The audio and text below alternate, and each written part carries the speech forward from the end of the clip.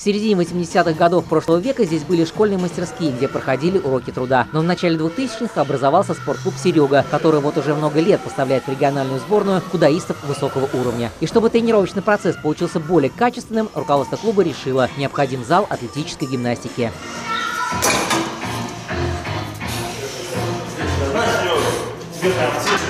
Бывших мастерских сделали ремонт, завезли около 30 современных тренажеров, причем различной направленности. Здесь можно и штангу лежа выжить, и на велотренажере прокатиться. Здесь хватает тренажеров на все группы мышц. То есть можно прокачать любую мышцу вообще, любую. А, Здесь а, мы создали такой более атмосферный, более брутальный э, клуб. То есть здесь не получится прийти и катать какую-то вату. То есть здесь придется заниматься, ну, серьезно.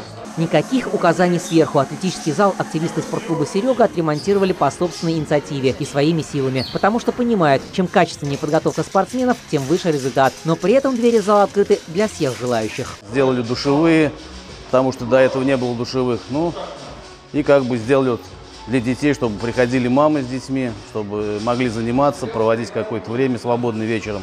Зал атлетической гимнастики клуба «Серега» – это еще одна точка здорового образа жизни, где смогут заниматься горожане от мала до велика. Михаил Сашанский, Новости Ульяновской правды.